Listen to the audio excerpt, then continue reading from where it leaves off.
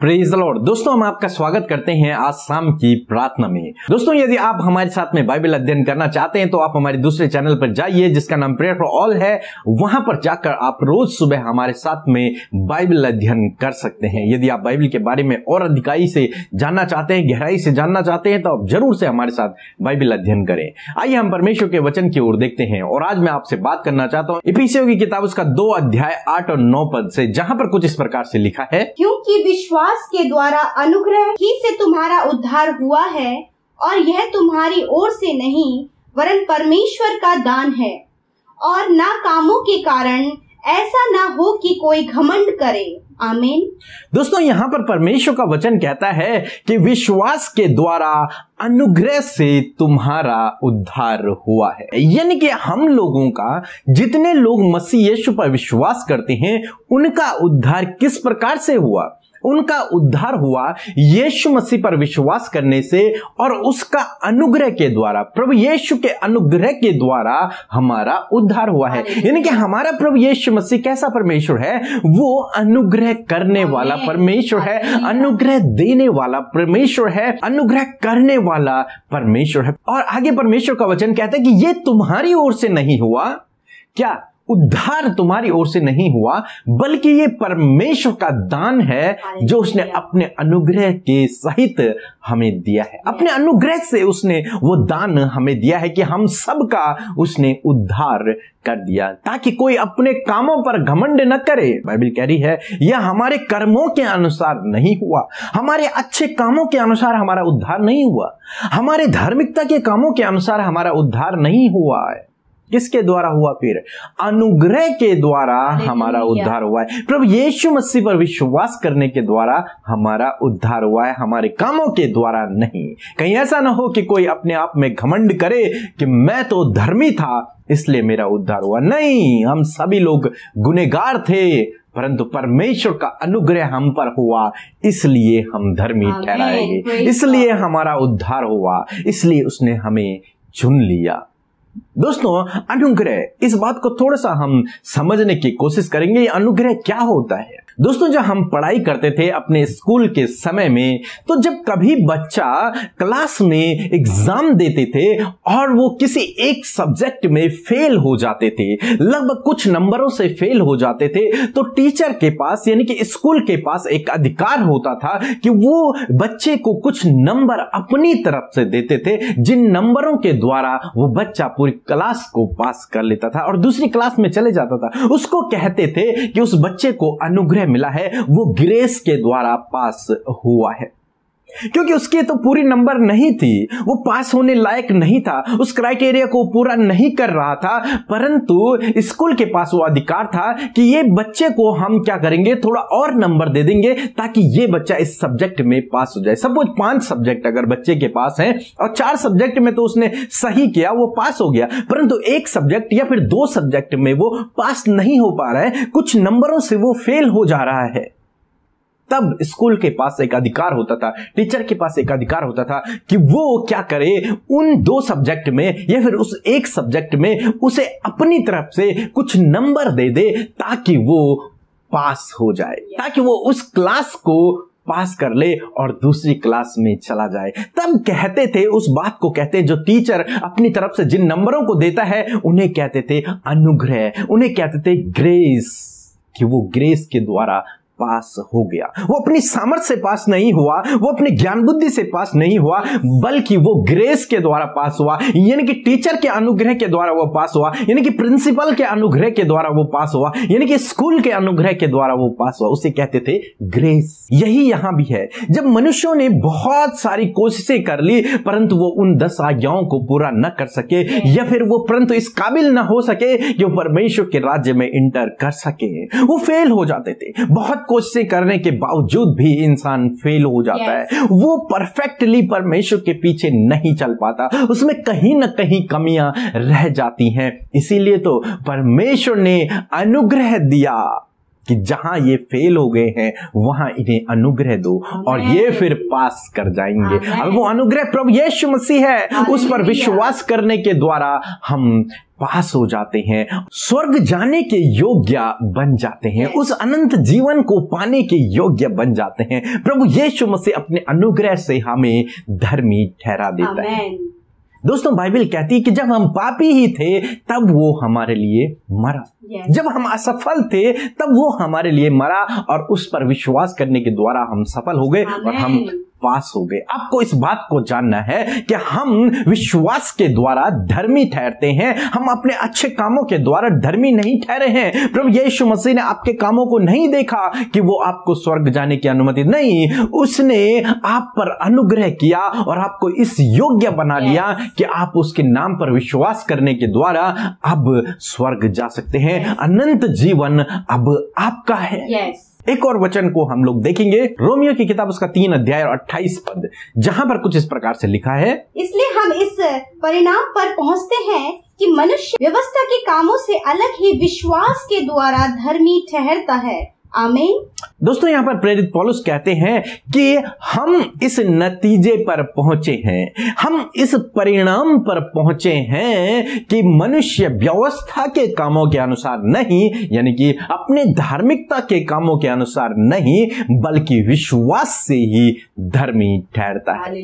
कैसा विश्वास? प्रभु यीशु मसीह पर विश्वास करने के द्वारा कि वो मेरे लिए इस धरती पर आया मेरे लिए मारा गया मेरे लिए गाड़ा गया उसने मेरे पापों का बोझ अपने ऊपर उठा लिया वो मेरे लिए तीसरे दिन मुर्दों में से जी उठा Yes. मुझे लेने के लिए आने वाला है। इस बात पर जब हम विश्वास करते हैं तो बाइबल कहती है कि वो धर्मी ठहरा जा चुका है क्योंकि उसके गुनाह प्रभु ने क्षमा कर दिए हैं। जब उसने अपने गुनाहों की माफ़ी मांगी तो उसके गुनाह क्षमा हो गए। और जब उसके गुनाह क्षमा हो गए तो वो धर्मी ठहरा गया। और जब वो धर्मी ठहराया गया तो वो अनंत जीवन का वारिस हो गया। फिर उसे स्वर्ग जाने से कोई भी नहीं रोक सकता। दोस्तों इसलिए आज शाम में मैं आपसे कहना चाहूँगा प्रभु ने आपको धर्मी ठहराया। और आप इस योग्य हैं कि आप स्वर्ग के अधिकारी हो सके। आप इस योग्य हैं कि आप प्रभु के सम्मुख खड़े हो सके। आप इस योग्य हैं कि आप उस अनंत जीवन के वारिस हो सके। क्यों? क्योंकि आप अपने धार्मिकता के कामों पर निर्भर नहीं क्योंकि आप अपने धार्मिकता के कामों के कारण धर्मी नहीं क्योंकि आप अपने भले कामों के अनुसार धर्मी नहीं ठहरे। आप प्रभु यीशु मसीह पर विश्वास Yes, करने के द्वारा धर्मी ठहरे। इसलिए अनंत जीवन आपका है। सुप्रभु आपको आशीष दे। आमीन। दोस्तों ये समय होगा जब हम एक गवाही को सुनेंगे उसके बाद हम प्रार्थना में जाएँगे। आप हमारे साथ में इस प्रार्थना में बने रहें। प्रेज द लॉर्ड प्रभु यीशु का धन्यवाद। मैं गौतमी वाघ हूँ नासिक महाराष्ट्र से। मेरी एक साल की बेटी है, एंजल। उसे बहुत तेज़ बुखार था, सर्दी और खांसी भी थी। इस वजह से वो कुछ खा पी नहीं रही थी। तो व्हाट्सएप के ज़रिए मैंने सिस्टर अमृता मसीह और ब्रदर पी के मसीह को प्रार्थना निवेदन भेजा। उन्होंने और उनकी पूरी टीम ने मेरे बच्चे के लिए प्रार्थना की। मैं भी उनकी प्रार्थना में सुबह शाम शामिल हुई। तो इस इस वजह से मेरे बच्चे को चंगाई मिली। वो खेलने लग गई। खाने पीने लग गई उसका बुखार पूरी तरह से ठीक हो गया। इसलिए मैं प्रभु यीशु का कोटि कोटि धन्यवाद करती हूँ, सिस्टर अमृता मसीह और ब्रदर पी के मसीह का धन्यवाद करती हूँ, उनकी पूरी टीम का धन्यवाद करती हूँ। प्रभु उनको बहुत आशीषित करें। यीशु मसीह की जय। आइए हम सब मिलकर आज की सुंदर शाम में प्रभु यीशु से प्रार्थना करें। हम आपको उत्साहित करना चाहते हैं कि आप भी हमारे साथ मिलकर अपने विषयों के लिए, अपने जीवन की परेशानी, समस्या, बीमारी, परिवार के लिए आप हमारे साथ मिलकर प्रार्थना करें, ताकि परमेश्वर आपके जीवन में आपकी प्रार्थना को सुनकर कार्य करे। सो आइए हम मिलकर प्रार्थना करें। धन्यवाद धन्यवाद धन्यवाद करते हैं। स्वर्ग में विराजमान हमारे पवित्र पिता हम आपका धन्यवाद करते हैं। धन्यवाद करते हैं सुंदर से समय के लिए। धन्यवाद करते हैं इस सुंदर सी शाम के लिए जो आपने हम सब भाई बहनों के जीवन में अपनी अपने लोगों के जीवन में जोड़ी है परमेश्वर। हाँ प्रभु हम सब आपकी उपस्थिति में बैठे हैं परमेश्वर। प्रभु जीवितों की पृथ्वी पर जीवित हैं प्रभु। ये सिर्फ़ आपका अनुग्रह है। धन्यवाद करते हैं प्रभु। इन दिनों में प्रभु हमने आपके बहुत से गुणों को जाना प्रभु। हम धन्यवाद करते कि सच में आप चंगा करने वाले प्रेम करने वाले सृष्टिकर्ता उद्धार करता तरस खाने वाले परमेश्वर है प्रभु। हमारे परमेश्वर है मेरे खुदा और प्रभु आज आज हमने इस बात को जाना कि तू अनुग्रह करने वाला परमेश्वर है पिता। प्रभु जी आप ग्रेस देने वाले परमेश्वर है मेरे खुदावन। हम आपका धन्यवाद करते प्यारे खुदा। आपकी उपस्थिति में आते आज की शाम में जितने भी भा, भाई बहन हमारे साथ इस प्रार्थना में शामिल हैं यीशु आपकी उपस्थिति उनके संग में बनी रहे।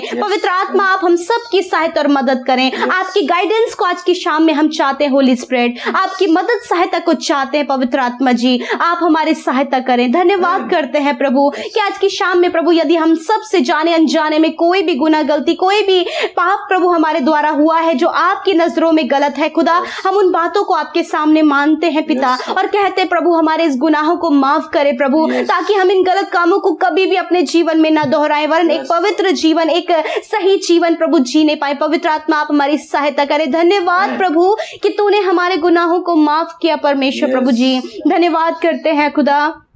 आज के सुंदर वचन के लिए प्रभु जिसके द्वारा आपने हम सबसे आज की शाम में बातचीत किया प्रभु। सच है प्रभु जी हम प्रभु विश्वास के द्वारा अनुग्रह से प्रभु यीशु मसीह हमारा उद्धार हुआ है प्रभु। ना ये हमारे कामों के कारण हुआ न ये हमारे प्रभु भले कामों के कारण हुआ वरन प्रभु ये सिर्फ़ तुझ पर विश्वास करने के द्वारा और तेरे अनुग्रह के द्वारा हुआ है क्योंकि तू अनुग्रहकारी परमेश्वर है। हाँ मेरे प्रभु तू तेरा अनुग्रह हम सब पर हुआ पिता जब हम पापी ही थे प्रभु तू हमारे लिए मारा गाड़ा गया और प्रभु तू हमारे लिए जी उठा ताकि जब हम तेरे पवित्र नाम पर इस सुसमाचार पर विश्वास करें तो हम धर्मी ठहरे। हाँ मेरे प्रभु तेरा अनुग्रह ही प्रभु हम पापियों के लिए हुआ पिता परमेश्वर और प्रभु आज तूने हमें धर्मी करार दिया प्रभु। आज हम सब प्रभु तुझ में धर्मी है मेरे खुदा। तेरा धन्यवाद हो तेरा धन्यवाद हो स्तुति महिमा बढ़ाई प्रभु यीशु राजा।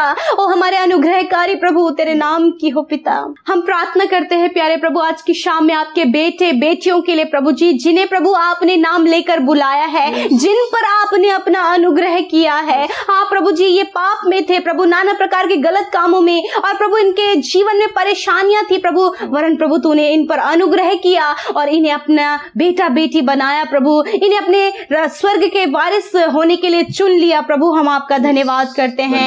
यदि प्रभु आज इनका जीवन फिर भी प्रभु पाप में है पिता परमेश्वर यदि प्रभु पाप में स्वभाव इनके अंदर है यदि प्रभु जी दूसरों पे दोष लगाने वाले ये हैं मेरे प्रभु घमंड करने वाले हैं पिता परमेश्वर धन का लोभ है पिता परमेश्वर और प्रभु जलन की भावना दूसरों को प्रभु यीशु मसीह प्रभु ठट्टों में उड़ाने की ऐसा इनका स्वभाव है पिता यीशु मसीह के नाम से आज वो सारी गलत बातें इनके जीवन से दूर हो जाएँ क्योंकि प्रभु ये खुद से प्रभु इनका अनुग्रह इनके कामों के कारण नहीं हुआ परंतु तेरा अनुग्रह हाँ प्रभु, आज प्रभु इन पर आप अनुग्रह करें। आज प्रभु इन गलत कामों से आप इन्हें बाहर करें खुदा। आज उस घमंड से, उस जलन से, उस ईर्ष्या से, धन के लोभ से प्रभु जी, नाना प्रकार के गलत कामों से इन्हें बाहर निकाल के प्रभु सही मार्ग पर चलाएँ। यदि आज ये एडिक्शन में है, इनके घर परिवार के लोग एडिक्शन में है, इनके बच्चे एडिक्शन में प्रभु आप उन्हें इस एडिक्शन से बाहर निकालें। आप इन्हें बुरे, गंदे विचारों से बाहर निकालें। प्रभु जिन्हें नेगेटिव थॉट्स आते जिन्हें गंदे विचार आते यीशु के नाम से, उन गंदे विचारों को आप इनके जीवन से दूर करें पिता। और कहते हैं इनके जीवन को पवित्र करें परमेश्वर क्योंकि प्रभु आप सिद्ध हैं और आप कहते हैं कि तुम सिद्धताई की ओर बढ़ते जाओ। हाँ प्रभु हम सब सिद्ध बनने पाए परमेश्वर प्रभु क्योंकि प्रभु ये हम खुद से नहीं कर सकते परंतु तेरे अनुग्रह के द्वारा ये हम कर सकते हैं परमेश्वर। धन्यवाद करते प्रभु हम प्रार्थना करते प्रभु उन भाई बहनों के लिए प्रभु जी जिन्होंने पिता परमेश्वर अपने लाइफ में बहुत ज़्यादा जो हर्ट हुए हैं प्रभु धोखा खाया है प्रभु उनके साथ चीटिंग हुई है उनके साथ फ्रॉड हुआ है प्रभु। हम प्रार्थना करते पिता कि उन पर अपना अनुग्रह करें पिता दया करें ताकि परमेश्वर उन सारी बातों से बाहर निकल के वो अपने जीवन में आगे बढ़ सके। हम प्रार्थना करते जो इस समय निराशा में है किसी बात को लेकर डिप्रेशन में है प्रभु उस बात को सोच सोच कर उनका जीवन प्रभु जी बहुत ज़्यादा स्पॉइल हो रहा है प्रभु आपसे प्रार्थना है उस डिप्रेशन से इन्हें बाहर निकाले अपना अनुग्रह उन पर बनाए रखे मेरे खुदा। हम प्रार्थना करते प्रभु हस्बैंड वाइफ जो एक दूसरे को धोखा दे रहे हैं प्रभु यीशु के नाम हम कहते प्रभु एक दूसरे के प्रति विश्वास योग्य बने मेरे प्रभु।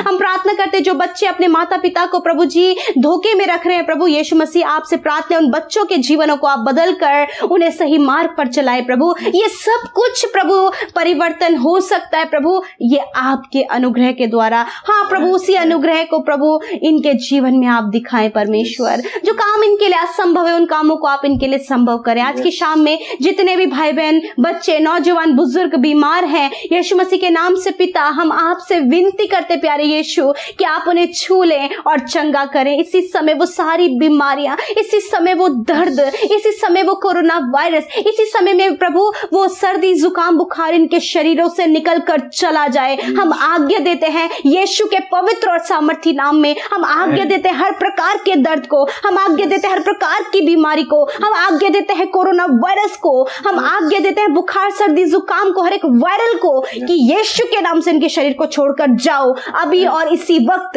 यीशु नासरी के नाम से लॉर्ड फादर आपकी चंगाई इनके शरीर में सर के बालों से लेकर पैर के नाखूनों तक में बहने लगे पिता परमेश्वर। थैंक यू फादर मैं प्रार्थना करती हूँ प्रभु जी जिन बहनों की प्रभु प्रेगनेंसी में कॉम्प्लिकेशंस हैं यीशु मसीह आप उनके गर्भ को स्पर्श करें खुदा। यीशु के नाम से हरे एक कॉम्प्लिकेशंस दूर हो जाएँ। जो प्रभु जी ने संतान की आशीष नहीं है यीशु के नाम से आप उनकी स, आप उन्हें संतान की आशीष दे मेरे प्रभु। उन पर अनुग्रह करे खुदा ताकि वो अपने जीवन में एक स्टेप आगे बढ़ सके। लोग जो उन्हें ताने कस के प्रभु उन्हें नीचे करते हैं प्रभु आपके अनुग्रह के द्वारा वो बढ़ सके पिता और वो संतान प्राप्त करे। तुझे महिमा दे। जिनके पास जॉब नहीं है अच्छा जीवन साथी नहीं है प्रभु आप उन्हें ब्लेस करें। जिनके पास बहुत ज़्यादा कर्जा है उन्हें कर्ज मुक्त करे प्रभु। लॉर्ड इनकी सहायता करे फाइनेंशियल प्रॉब्लम को दूर करे आर्थिक तंगी को दूर करे और सब कुछ इनके लिए प्रबंध करे प्रभु। सिर्फ़ आपके अनुग्रह के द्वारा। धन्यवाद प्रभु तू हमारा अनुग्रहकारी परमेश्वर है प्रभु। तूने हमारी विनती प्रार्थना को सुना उसका उत्तर हाँ और अमीन में दिया। आज रात में आपके बेटे बेटियाँ जब सोए वो निश्चिंत होकर सोने पाए। हर एक चिंता परेशानी बुरे सपने दुष्ट के गलत विचार यीशु के नाम से हम उन्हें खंडित करते हैं। और कहते प्रभु ये जब अपने बिछौने में सोए तो नया दिन प्रभु तेरे साथ में देखने पाए और आनंद के साथ में तेरी जय जयकार करें पिता। यीशु के नाम से विनती को मांगते हैं। आमीन आमीन और आमीन